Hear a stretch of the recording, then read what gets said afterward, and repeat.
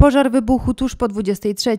Ogień najpierw próbował gasić ksiądz przy użyciu gaśnic, które były na plebanii. Pożar jednak na tyle się rozprzestrzenił, że kapłan nie był w stanie sobie z nim poradzić. W wyniku tego, tej próby uległy, po, uległy poparzeniu jego górne drogi oddechowe, więc strażacy zabezpieczyli, udzielili mu kwalifikowanej pomocy, a następnie przekazali zespołom ratownictwa medycznego. Po udzieleniu pomocy księdzu strażacy skupili się na ratowaniu sanktuarium świętego Jakuba Starszego Apostoła, położonego kilka metrów od płonącej plebanii. Pożar był na tyle intensywny, że groziło to rozprzestrzenienie się na budynek sanktuarium oraz strażacy y, podawali środki gaśnicze przy użyciu specjalistycznego sprzętu y, drabin, drabin ratowniczych, także z góry y, te środki gaśnicze były podawane na palący się budynek. Łącznie w akcji brały udział 23 zastępy Straży Pożarnej. Byli to strażacy z powiatu polkowickiego i głogowskiego. Doszczętnie spłonął dach plebanii. Zniszczeniu uległy stropy y, pomiędzy pierwszym piętrem a poddaszem.